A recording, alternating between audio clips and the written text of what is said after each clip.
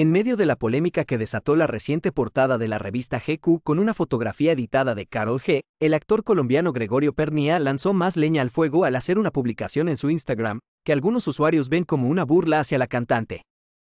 Recurrió a su red social para publicar una fotografía suya editada, la cual además acompañó con un breve texto en el que dejaba ver su molestia por el aspecto que lucía diciendo que está muy molesto por las fotos que le sacaron en la portada de arroba GQ, escribió el actor en un modo sarcástico que no fue bien recibido por buena parte de sus seguidores. Y es que Carol G dejó claro en redes sociales su inconformidad por la imagen utilizada en la portada, pues en su momento aseguró que esa imagen no la representa.